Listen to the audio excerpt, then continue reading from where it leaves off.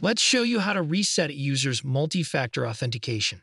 Within the multi-factor authentication section, select the user multi-factor setup. This is the starting point for resetting a user's MFA. You'll see a list of users who have time-based one-time password, TOTP, enabled. Select or filter out the user for whom you want to reset the MFA.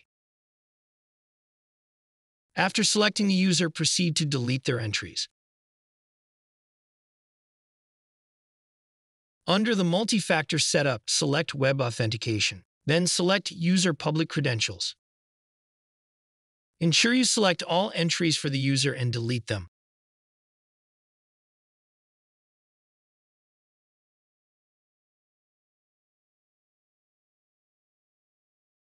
Navigate to the multi-factor authentication menu and select User Recent Used Factors.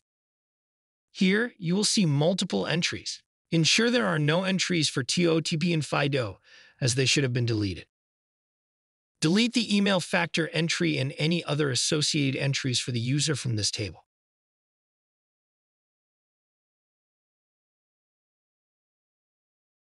Once the final record is deleted, the user can now sign in and reset their authentication factors. You will see the new MFA setup screen indicating that the MFA reset is complete.